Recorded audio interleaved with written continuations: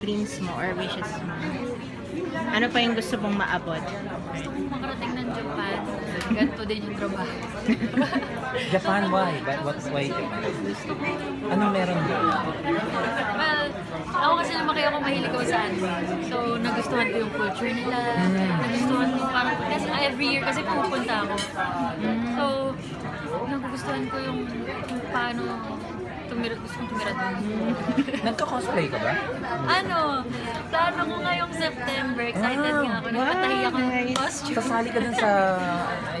Hindi, mag, ano, wala lang. Gusto ko lang. Nasa bucket list ko siya. Oh, pero, pero may parang ah, ano yun, may gathering ng ano yata ng cosplay.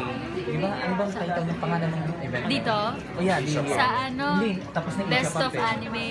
Parang meron eh. Oh. Itong... Yun nga yung gusto ko. Pero anong plan mo if ever? Anong Sinong kaya? Sinong character?